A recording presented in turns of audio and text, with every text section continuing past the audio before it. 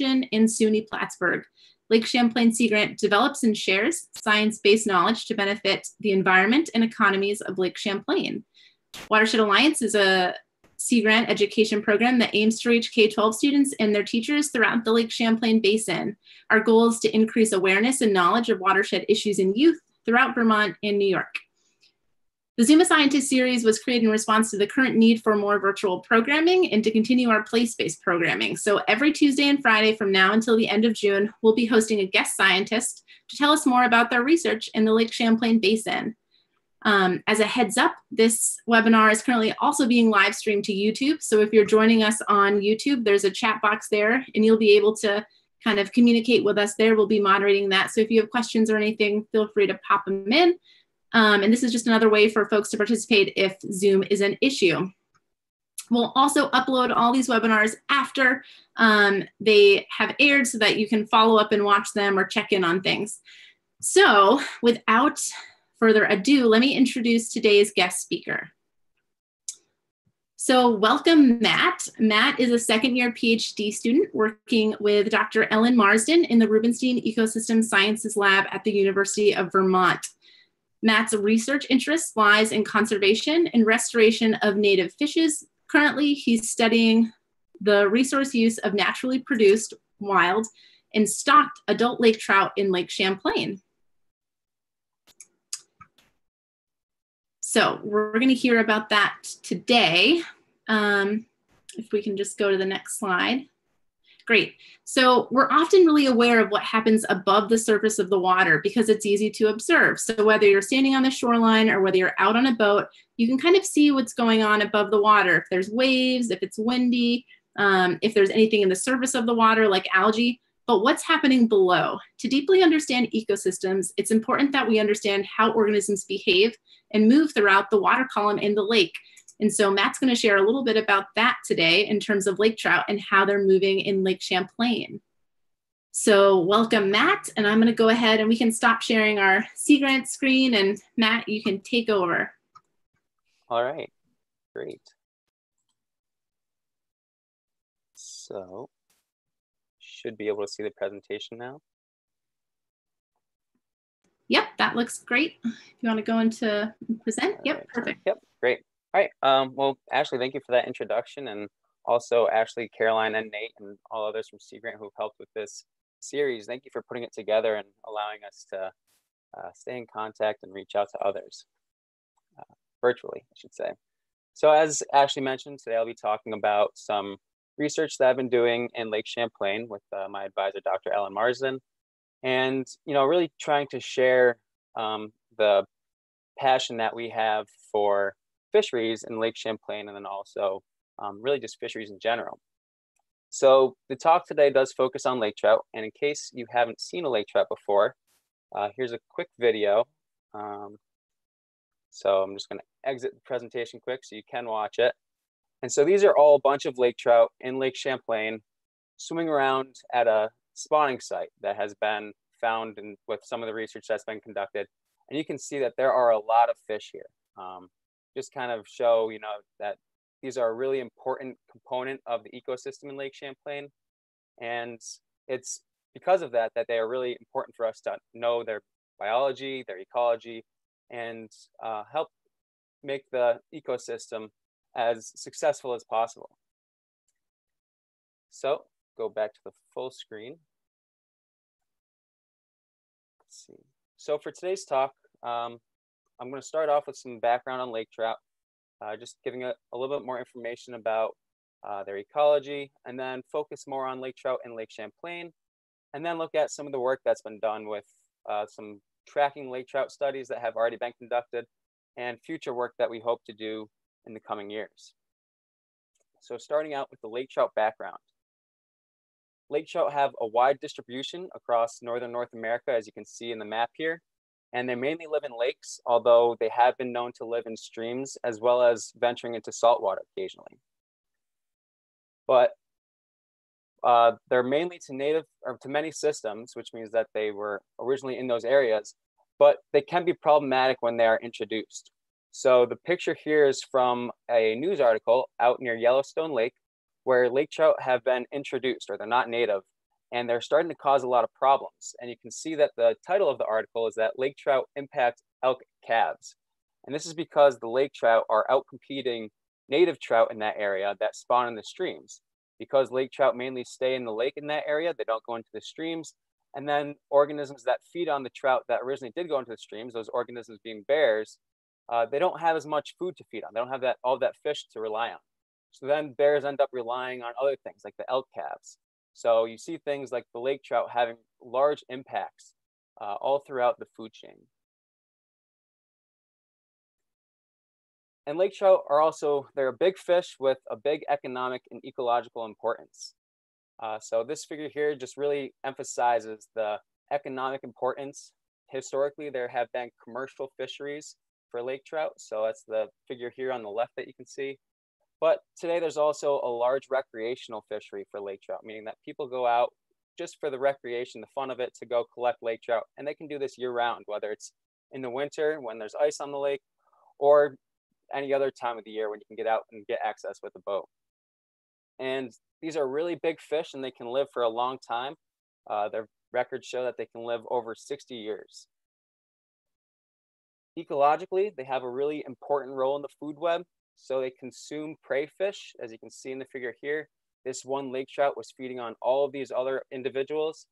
And this limits the populations of those prey fish. So it keeps their populations from getting too large or exploding.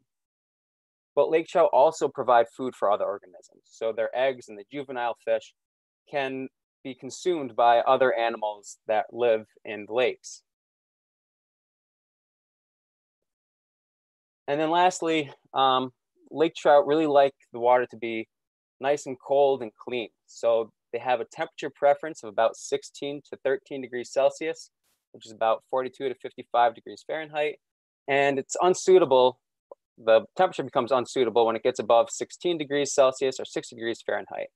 And just to give you a little bit of a comparison, uh, if you ever go to a swimming pool, the temperature in that is about 27 degrees or 80 degrees Fahrenheit. And sometimes that even feels cold. So these guys really like the cold water. And they also like it clean, so that it needs to have a relatively high amount of dissolved oxygen. So because of these two factors, lake trout mainly live in deep areas, which is why they're mainly found in lakes and only in the northern extent of North America. And the figure here shows the year-round temperature in a lot of lakes. So you can see during winter here, it's pretty much cold throughout the entire lake. So lake trout can actually access a lot of different areas in the lake. During the spring, water temperature is pretty much the same throughout the entire body of water. And then as summer progresses, you can see how this warm layer of water can really limit the amount of cold habitat that's available. And that ends up limiting the amount of habitat that can be available for lake trout, another cold fish or cold water fish. But lake trout populations have kind of been in trouble, uh, especially in you know the past couple hundred years. And native lake trout throughout North America have been in decline, and there's a few reasons for that. Things like habitat alteration on land, where you know we destroy or we remove a lot of the, the forests, and because of this, a lot of the the soil and sediment then can go off into the lakes, and this lowers the quality of the habitat that lake trout really depend on. Also invasive species, things like this invasive parasite called the sea lamprey. You can see here how it's attached to a lake trout and how when it's once it attaches, it starts feeding on that lake trout. And if you have too many sea lamprey on a single lake trout, it could end up causing that lake trout to die. Also important to think about is climate change. I mentioned how these lake trout really like that cold water. And you can see here, this is for a bay off of Rhode Island. Over the past only 50 or 60 years or so, temperatures are really increasing in water bodies, and this can have really bad effects on the lake trout. And then also overfishing. So if you do have commercial fisheries, you know, there's people that are out there collecting a lot of these fish, you might end up reducing the number of fish that are left in the system to a point where they're not able to survive anymore. But there's some hope the many government agencies have been reintroducing lake trout with stocking programs. So this is where they raise juvenile fish and then release them into the wild. And this is really important because during that juvenile stage is when fish in general have high mortality rates. And so once you get past that critical period, you can release the fish and they'll have an increased chance of survival. So the hope here is that you release these fish at an older age, and at that point, they will be able to survive and then reach adulthood, and hopefully they'll reproduce naturally in the wild, and then their offspring will survive. And this will lead to a self-sustaining system where the population is able to maintain on its own, where you have the adults contributing to the juveniles, which then contribute to the adults, which then again create that self-sustaining system. So this brings us to our first question. Um, and I think at this point, I'll let Ashley take over. Sure thing. So I just launched our first poll of the session. So you should see that popping up. Um, and the poll is I'm going to actually read it aloud. And again, if you're not seeing the poll, that is okay. Just go ahead and put that response in the chat box. So, how has understanding lake trout movement helped fisheries managers protect the lake trout population in Lake Champlain? A, law enforcement can prevent fishing in areas where there is a high abundance of lake trout. B, Actually, locate, yes. Oops, sorry to interrupt you. Um, yeah. I think this is actually the second question. Oh, Um, sorry. So the first question would be the, I don't know if you are able to, Yeah, I got it. Is it the true benefit of correct. Okay, here we go. All right, true benefit. So, which of the following is a true benefit of lake trout?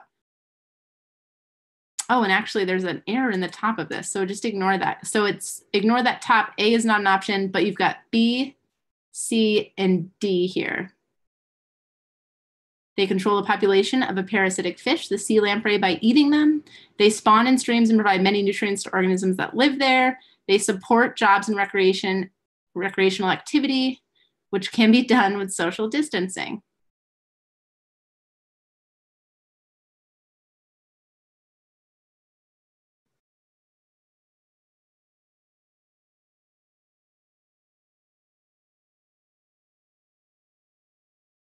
Great, I'll just give you a couple more seconds to answer. All right, Matt, let's see. I'm going to end this poll. What is the correct answer? Ah, so it looks like we might have a little bit of a split answer here, but the true answer is that they provide jobs and a recreational activity. So uh, looks like there were a few people that said that they spawn in streams and provide many nutrients to the organisms living there. While they may live in streams, they actually spawn in the lakes, why the name is the lake trout. Um, although I, I probably should have emphasized that a little bit more. And they um, really only provide nutrients to the organisms that live in the lakes because of that. Um, in Yellowstone Lake, there were other trout that swim upstream and provide nutrients there. Uh, that's the cutthroat trout. Um, so for the lake trout, they provide that recreational fishery and the jobs um, in uh, the systems that they live in. And again, you can always go out and capture a fish without having to be within six feet of another person. So it's a fun activity that can be done while social distancing.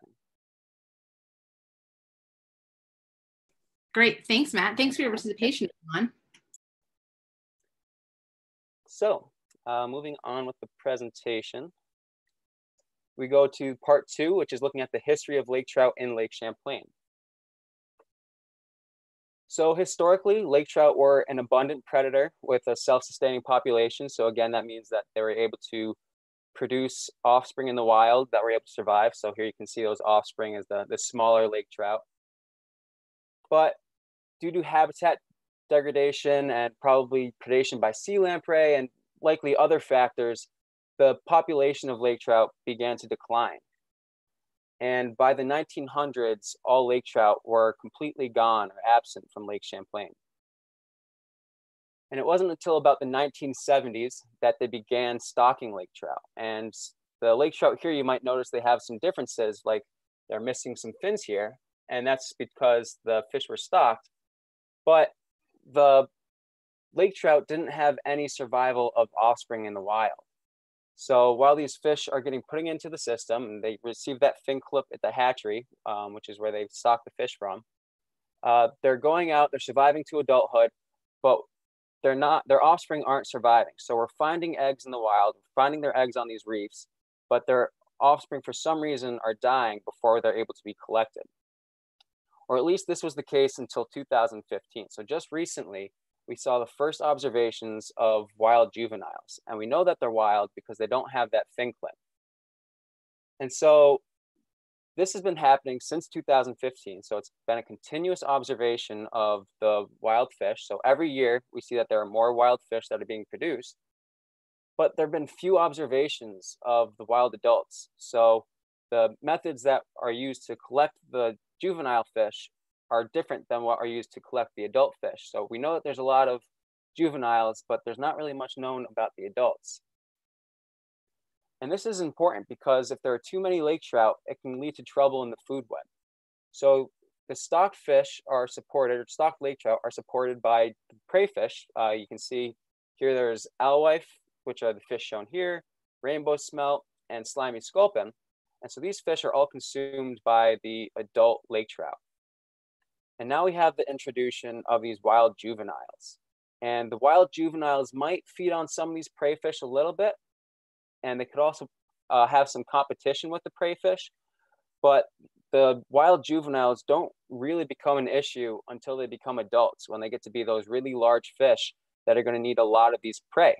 And so if you have the stocked fish in addition to the adult wild fish, then you might have an unbalanced food web. And by that, I mean that there's too many mouths to feed with not enough prey. And this can cause the prey base or all the prey fish, their populations to collapse or there's insufficient food. And once there's insufficient food, then that means that the predators like lake trout are going to collapse as well. So there's a, a, need for action. We need to know what's going on with the lake trout. And with this, we need to know where do the juveniles go? You know, we're collecting the juveniles, but when we target the larger fish, we don't see any wild adults. So it's unsure what's happening to the wild juveniles that were produced. We also need to know what resources are the lake trout using. Things like their habitat, where in the lake are they occupying? And also what prey species are they feeding on? We know that there's those three different major prey fish, do the wild fish and the stocked fish feed on the same things? And ultimately, these lead to how will the wild adult lake trout impact the food web? So this brings us to the third part of the presentation, looking at some research that's already been done in Lake Champlain, where we track lake trout movement throughout the lake. So our overall question was, how do adult lake trout use Lake Champlain? Again, looking at what habitat do they use, how large can their home range be? So, in a sense, how much space can they cover in their lives? You know, right now during this pandemic, our home range is relatively small. We're restricted to just our homes, or maybe every once in a while we'll go down to the street to the grocery store. Um, but for wild organisms, it's really important to know how much space are they really covering. And then it's also important for lake trout to know how they respond to changes in temperature. So we know that they really require this cold water and we're seeing increases in water temperature with climate change, but also within a year, if you think about the seasons, right now it's getting warmer out, it's also getting warmer out in the lakes. So how does this increasing temperature in the water drive the movement and the use of lake trout in Lake Champlain? So it's important to have a little bit of background on Lake Champlain. So it's a, a really long, fragmented lake. So it's about 172 kilometers or 107 miles long, and at its max maximum width, it's about 23 kilometers or 14 miles wide. And you can see how it's separated into these three different basins: the inland sea here, Mallett's Bay, and the main lake. And it's separated in a lot of points by these causeways. These are these man-made structures that were put, in since the 1800s to allow transport across the land. So going from Vermont up onto the islands, uh, Grand Isle here. And this has limited the connectivity among these different basins. So you can see here there's this really small opening in this causeway. It's about uh, 50 meters wide, and they're also really shallow. And so previously, before these causeways were in place, there was some um, some structure, natural structure you can see here that caused some limited uh, connectivity among the basins, but there was still access for fish to get across. So now there's restricted access for a fish with they're uh, they're only able to get from one basin to another by going through these really shallow, really narrow openings in these long causeways. And what this figure here is also showing is how the depth really differs among these basins. So you can see with Mallett's Bay up here, it's pretty shallow. It's only got a max depth of about 30 meters or 100 feet, which still seems pretty deep, but during the summer, that can still get relatively warm, especially for a lake trout. The inland sea is also somewhat shallow with a max depth of about 40 meters or 165 feet. And then the main lake, you can see here how it gets this bright red and orangish color, gets really deep at about 400 feet. So these differences in depth come important for things like the temperature and dissolved oxygen that lake trout are so dependent on. And to give an idea of how temperature and dissolved oxygen can change throughout the year, I'd like to show this diagram of the changes in the temperature at the surface and dissolved oxygen at the bottom across a year. And it really becomes critical during the summer. So you can see here, this fish is able to occupy all the water in that light blue habitat. But during the summer, as the temperature starts to increase at the surface, the amount of habitat available decreases and also dissolved oxygen decreases at the bottom. So there's this temperature oxygen squeeze where the amount of habitat avail available for lake trout really gets limited. And if it becomes too limited, then the lake trout will either have to leave that area or they might end up perishing. And trying to stay optimistic, we hope that there's another area that the lake trout might be able to go to, and then they'll come back in the following fall. So I'd like to take a closer look at this temperature oxygen squeeze in Lake Champlain. So if we look here at Mallett's Bay, this is a relatively complex graph, but the main thing to look at are the colors and shapes. So you can see that the colors represent different times of year, and the shapes represent optimal and suboptimal habitats. So essentially, where is there high dissolved oxygen and a relatively low temperature that is optimal for lake trout? And you can see that within this blue square, this optimal habitat really only occurs during the end of spring and through about the middle of summer. And by the fall, there really isn't any suitable habitat left in Mallett's Bay. If you look at the inland sea as well, you see the same thing. Those orangish red colors are not showing up in that optimal habitat, meaning that the lake trout would not be able to survive in the inland sea at least not during September and October. And then if you look at the main lake for comparison, you see all these colors are showing up within that blue square, which means that there's suitable habitat in the main lake throughout the entire year. So we really wanted to see how lake trout were using Lake Champlain. And the way that we did this was using acoustic telemetry. So acoustic having to do with sound, and telemetry, which is related to recording and transmitting or sharing information. So the center figure here shows how those sound waves can be given off and then detected by receivers that are out in the water. So for this study, there were 93 adult stocked lake trout that received a three-year transmitter or a three-year tag. And by that, I mean that this has a battery that lasts about three years, and every two minutes, it gives off that sound signal or that acoustic signal to tell the receivers where this fish is. So these tags get surgically implanted into a fish, and then the fish gets released, swims around, and we get to know the fish's story. Another way of looking at this, you can see how this fish here has this acoustic tag that's located inside of its body cavity at this point. The fish was released and it transmits this unique acoustic signal to the receivers that get deployed throughout the lake. I'll take a quick step back to the map here so this shows the receivers where they were located throughout Lake Champlain. And the inner circles, the small blue circles, represent a relatively um, small range for the, the lake or for the receivers. It's about 400 meters. And the large red circles represent the larger range for the receivers, which is about a kilometer. So at best, these receivers can detect a fish or the sound given off a fish that is at most one kilometer away. So if a fish is swimming by and it goes into that red ring, we'll know that that fish passed by that receiver and at what specific time the fish passed by there. So here's just a few more pictures of the process for doing the surgery on lake trout. You can see there's a small incision that the transmitter gets put into. And there's a lot of different size transmitters. So the one that we were using was about the size of this one here. It has a three-year battery life. And the different sizes represent different battery lives. So if you want the transmitter to last longer, you need a larger battery, and then you need a, lar a larger tag. After the tag has been put into the fish, then you do some quick surgery, some sutures, to tie up the um, incision, and then the fish gets released. So here's a quick video to show what it looks like when a fish gets released.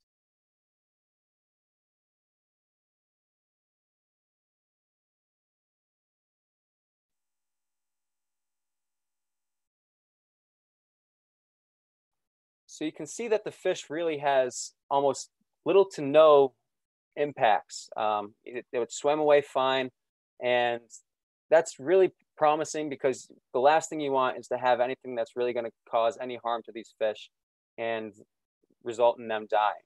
Um, so we see great success where all these fish are able to swim away and they are all able to survive.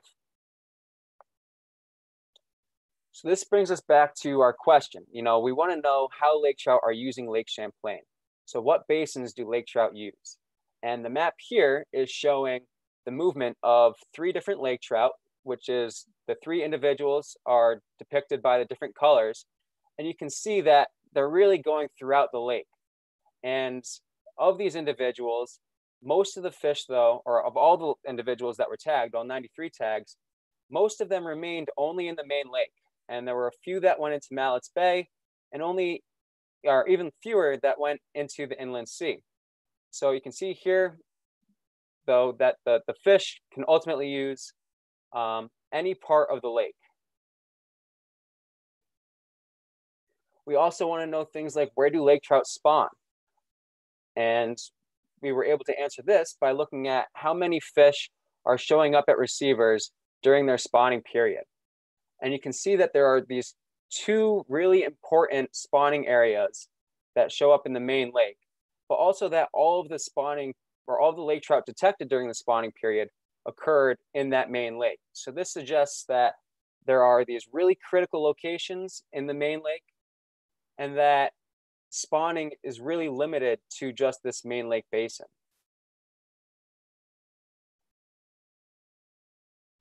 And then also looking at how large is their home range? How much space can the lake trout cover, an individual lake trout? And this figure here again shows how the lake trout can really cover a large amount of land.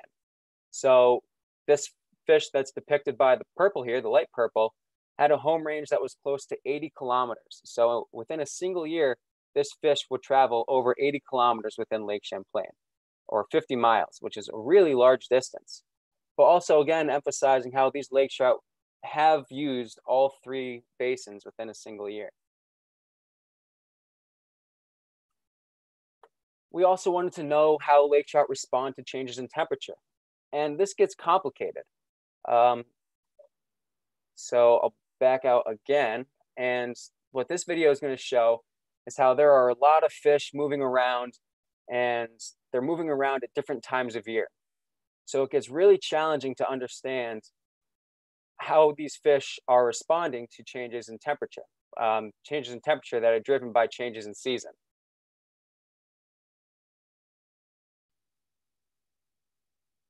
So in order to address how lake trout respond to changes in temperature that are look that are um, caused by changes in season, we looked at the movement of, an, of individual lake trout across time. So again, this picture, this figure is looking at the detections of an individual lake trout. So each point represents a detection at a corresponding receiver. So in December of 2013, this fish was showing up in Mallett's Bay and the East Causeway. That's shown here in the Mallett's Bay region. So we see that there's also this red period here, which represents that point in time where conditions in the inland sea and Mallett's Bay become unsuitable. So for this fish, it's never in the inland sea or Mallett's Bay during that unsuitable period. And that's because this fish was only using Mallett's Bay during the winter, but it was doing it repeatedly. So it's always going into Mallett's Bay during the winter and then leaving before getting to that, that uh, unsuitable period. So another way of looking at this is that we saw the fish entering in the fall when temperatures were low, and then it left the lake when conditions were consistent throughout the entire, or when temperatures were consistent throughout the entire lake, which is known as isothermal. And by leaving at this point in time, this lake trout was able to avoid the warmer temperatures that occur in Mallett's Bay later on in the year. But there were also lake trout that were able to survive in the inland sea throughout the entire summer. So this lake trout was in the inland sea for over four or for almost 400 days. And you can see that it was showing up in that red period. So that means that this fish was occupying unsuitable habitat or what would be considered unsuitable habitat when temperatures and dissolved oxygen are going to be outside of their optimal range. So this is really interesting information that says lake trout might actually be able to tolerate higher temperatures than we're expecting. And therefore, they might be within locations like the Inland Sea or Mallett's Bay during times when we wouldn't expect them to be there. So coming back to our original question for this uh, research, how do lake trout use Lake Champlain? We wanted to know what habitat do they use. So we were able to use or able to answer that. We know that they use all three basins, but they mainly use the main lake. And we were also able to identify critical spawning locations, those two major spawning points that a lot of fish were going to in the main lake. And that's important because we need to know where those habitats are so we can help protect those habitats. We also were able to answer how large their home range can be. We know that these lake trout are able to occupy up to 80 kilometers, a really large distance.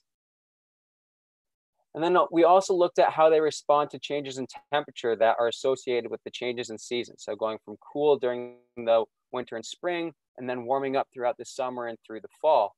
And we saw these two different behaviors. There was there were the individuals that avoided using Mallett's Bay when it got too warm. So they only went in there when it was the cool winter period, and they left when the water temperature was consistent throughout the entire lake. And then there were the ones that were able to persevere. They survived through that warm period in the inland sea. So this brings us to our second question, which was, or which is, uh, how has understanding lake trout movement helped fisheries managers protect lake trout population in Lake Champlain? And it looks like Ashley has put the poll up again.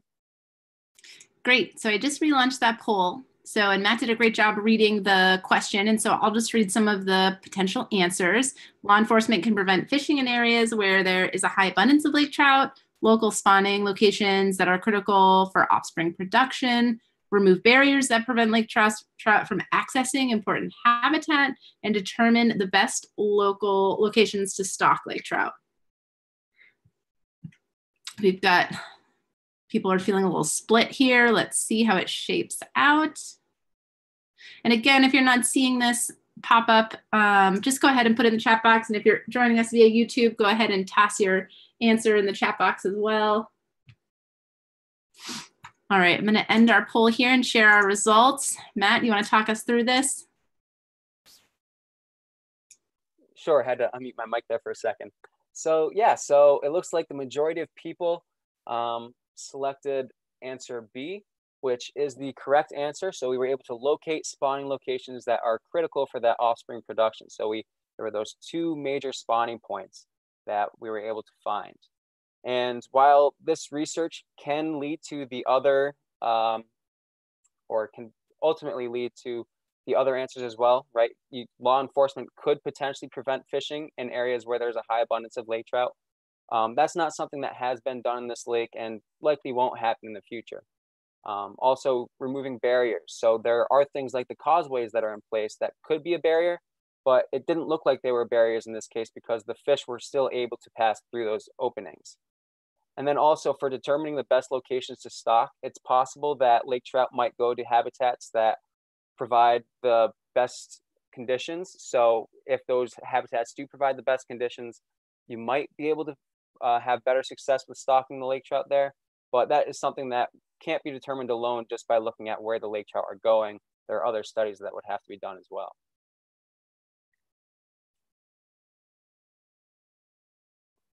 All right, so this brings us to our fourth and final part, which looks at the future research. So there's still a lot of questions that need to be addressed. And so there are many research projects that are ready to begin. And these include locating the adult wild lake trout and estimating their abundance. So we were able to look at the stocked lake trout with the previous study and looking at the adult stocked lake trout, but we still don't really know much about the adult wild lake trout or where they are. So this is a project that's going to be done with the Vermont Fish and Wildlife, or biologists from Vermont Fish and Wildlife, the local uh, state um, agency here, as well as with uh, us at, UV, at UVM. And then we also want to track the three-dimensional movement of the wild lake trout. So there are some transmitters that are able to detect the pressure, which can then be converted to depth. So we'll be able to know at what location in the water body are the fish occupying.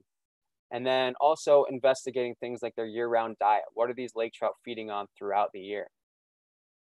So just some quick slides to go over how these projects are going to be conducted.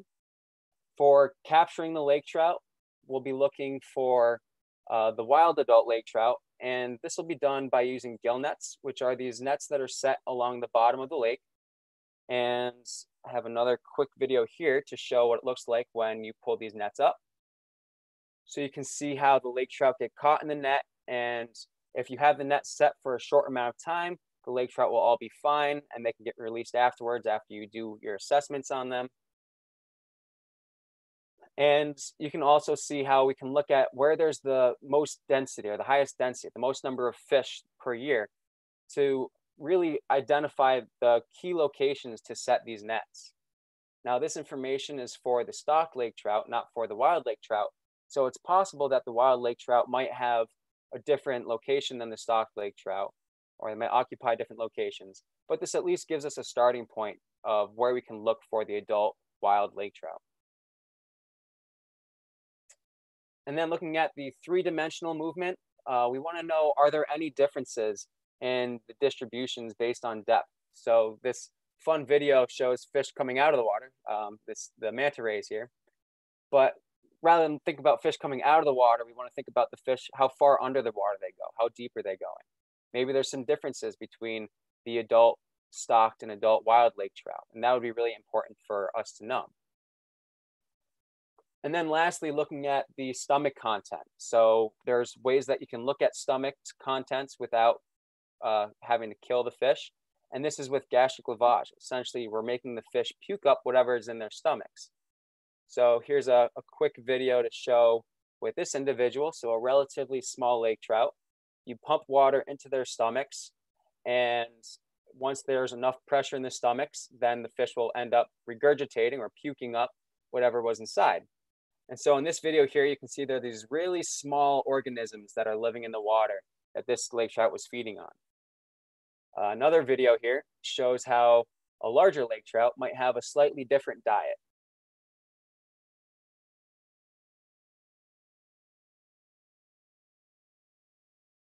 So you can see that there's some larger prey for the, the larger lake trout. And this would be really interesting to see with the lake trout in Lake Champlain to know, are there similar patterns? Are the different, different size lake trout having uh, different diet composition and how that really will impact the rest of the food web? So from this future work, we have some expected outcomes. Uh, we want to know where are the wild adult lake trout? Where are they going? We know that there are juveniles that are wild, and we expect that they're surviving to adulthood. But the current surveys that locate or that capture the adult lake trout aren't finding many wild or unclipped lake trout. So this suggests that either the wild adult lake trout are going elsewhere, they're not being captured in the current techniques, or there's something that's happening before they reach adulthood, something that's causing them to die. And that's something that we really want to look at. We also want to know what types of habitat do both the wild and stock lake trout use. We have an idea for the stock lake trout, but now we want to get an idea of that three-dimensional habitat, knowing if there's any differences in the depth distribution of the stocked and the wild lake trout. And then lastly, what are the lake trout eating? We know that there's those three major prey fish, the alewife, the rainbow smelt, and the round and the uh, slimy sculpin.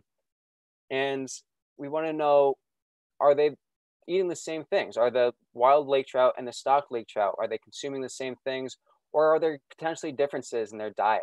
And this gets really important because there might be some competition that's going on between the stocked fish and the wild fish.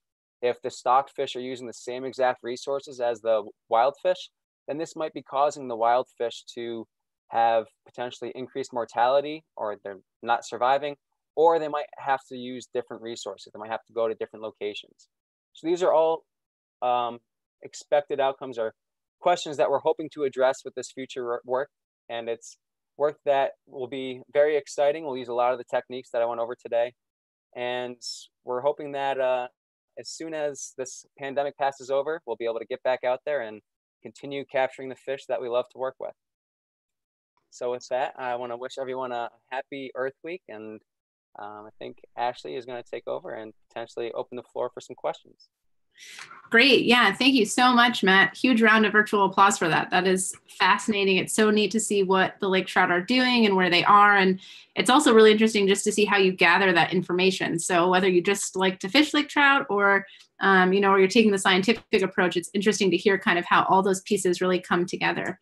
So we are going to open it up for questions right now. And so we'll go ahead and share our screen. Um, and so there's been some awesome questions coming into the chat, uh, into the Q&A box. Keep tossing those in there. And then um, before you all head out after this, we actually have a poll for you all to fill out. Um, so stick around. All right, my first question for you, Matt, actually is just, could you share with us, how did you get involved in fisheries um, research and what was your path um, kind of to where you are today? Yeah, it's a, a great question. So I guess my path really started when I was a little kid. Uh, I was fortunate and had access to some local water bodies. And, you know, from the time I could hold a fishing pole, I was out on the water. And I've just always had a passion for um, the natural environment. And so that led me through to college, where I went to undergrad in a program that offered environmental science and ecology. And at that point, I was focusing both on aquatic and terrestrial ecology. And I wasn't really sure which route I want to go on when I first started, whether I want to stay more terrestrial, working with animals on land, or aquatic and working with some, more like fish. And so it took a, a few years of um, experience helping out in some different labs, and I got to really appreciate the ecology of fish. And um, I then went on to do a master's out at the same college where I did my undergrad out in Western New York. Um, and did some more research on fish in Lake Ontario, as well as some of the Finger Lakes in New York. And uh, in doing that research, I got to meet my current advisor, Dr. Ellen Marsden, and saw that she was doing some great research here in Lake Champlain, and that you know the lake trout population here is having some really interesting um, changes and some positive changes. You know, there's a, a native species that's starting to show potential for self-sustaining population. So that led me to coming here to hope I can work with this uh, success story and continue to make it more successful in the future. So. All right, great, Matt. Go ahead, Caroline. so we've got a couple of questions in the Q&A box. So we're going to start with one um, that got a couple thumbs up and it says, were all the tagged fish released in the same location on the same lake? Great. Yeah, great question. So there were actually two tagging locations, but they were all for Lake Champlain.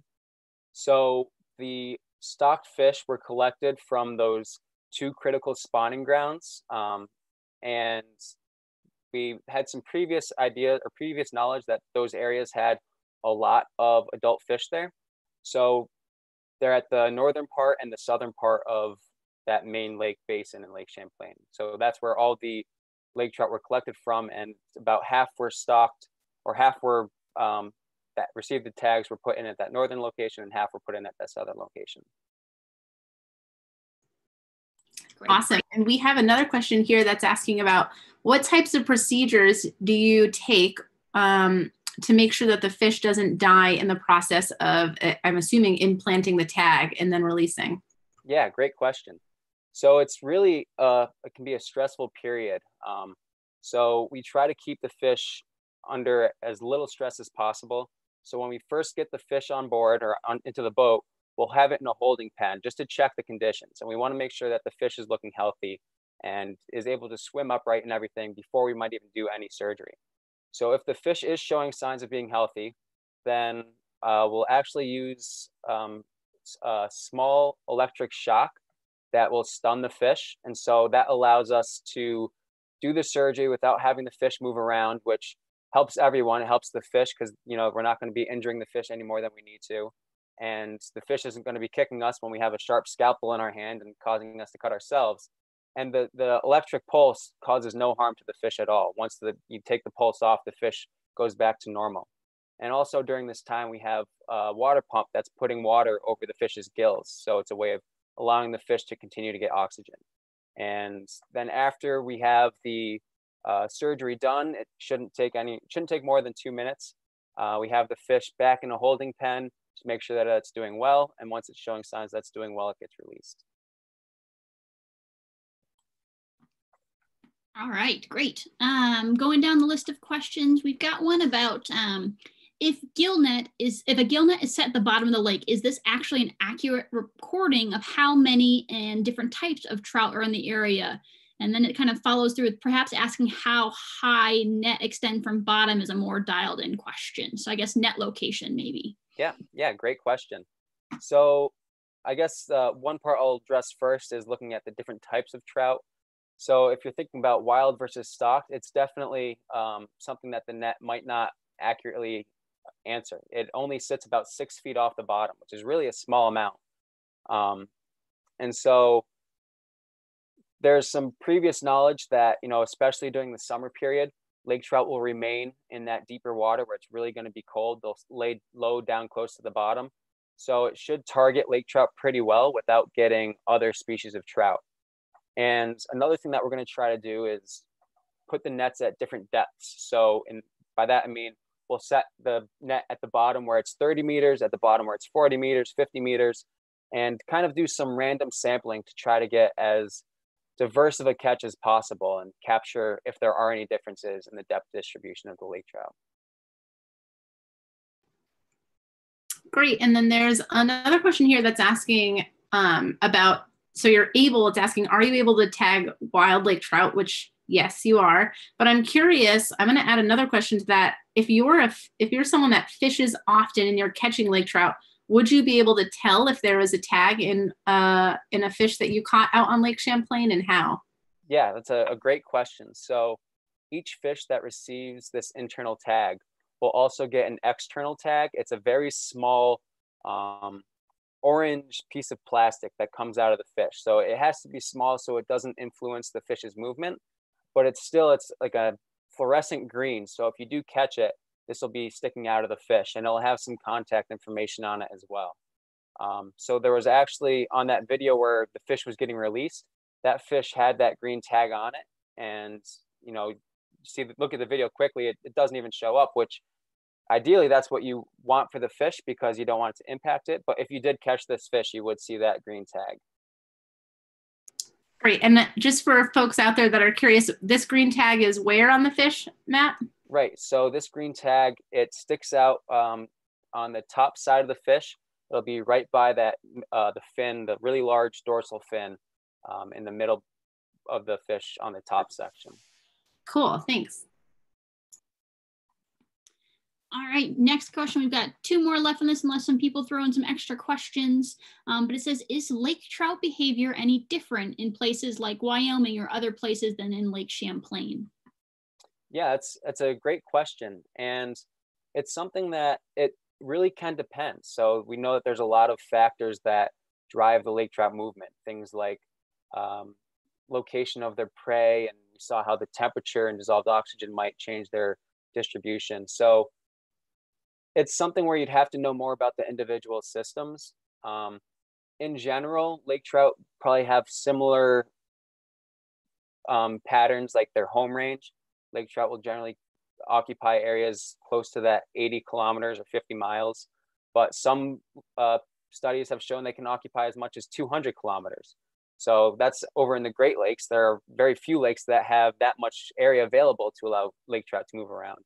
Um, also, there might be changes in the movement of the prey fish that could drive the um, location of the lake trout. So it's something where the the basic behaviors like the responses to temperature and like the total um, area or the home range of the lake trout could be um, similar to other uh, systems like over in Wisconsin or Wyoming.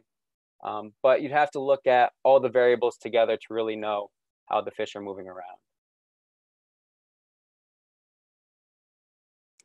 Great. And then we had a just a follow up here from someone uh, in YouTube, but then also in our Q and A here. They're asking if you could just reiterate where you got your bachelor's degree um, and where you got your master's degree. Yeah. So uh, I forgot to mention that I got my bachelor's and master's from SUNY Brockport out in Western New York. So awesome. I've got a, a great environmental program there where you can go on different tracks where whether you want to do aquatic, terrestrial, wetland, all different options. Great. Awesome. Go Thanks. Plug for them. Yep. And then one last question. We'll just do this one real fast, and then I'm going to share a little bit of information. Just asking about can the existing sensors used to detect can existing sensors used to detect fish depth using 3D? From the map, it appears these sensors are rel- were in relatively shallow water, close to or close to shore. Yeah. So the receivers, um, they're we keep them relatively close to shore, but they're actually anywhere from I think 20 meters to 60 meters deep. Um, so the shores of Lake Champlain drop off relatively quickly. And even if a fish does come up to the surface, essentially, these pressure gauges will be able to detect that anywhere from the surface down to the bottom of the lake. Awesome. Thank you. Well, again, virtual round of applause for Matt. Awesome job today. And thanks so much for sharing about the really important work you're doing on Lake Champlain with lake trout. Um, totally fascinating. We just launched a feedback poll. So if folks want to go in and just put in some feedback about today's session, we want to hear from you and your experience. Um, we've got many more of these lined up. And so it helps us make sure that, you know, the next um, series is even better. And so while you're filling out that feedback poll, I'm just going to talk about one cool thing you could do at home if you were pretty psyched about um, the lake trout today. And so our take home activity for today's session is going to be to use US Fish and Wildlife's freshwater fish page. And so we're going to post the link to this in the chat box. Um, and on this page, basically, you can see from the icon on the right, you can look at tons of different freshwater fish. And so a lot of these fish live in Lake Champlain, some of them do not. However, um, basically what you can do is, um, oh, okay, great. Um, what you can do is click on one of those fish and it tells you a whole bunch of information about it. You can then use that information to kind of sketch. So think about what kind of habitat it's going to live in um, and where you might find this fish right now in the springtime, what it might be doing, what it might be eating. Um, if you go ahead and do some of that um, research and art, go ahead and share it with us on Instagram and Facebook. We want to see it. And then next time, and I'm going to post that link in the chat in just a second here. And then we just want to invite you to our session next week. So, next week, we are going to be talking about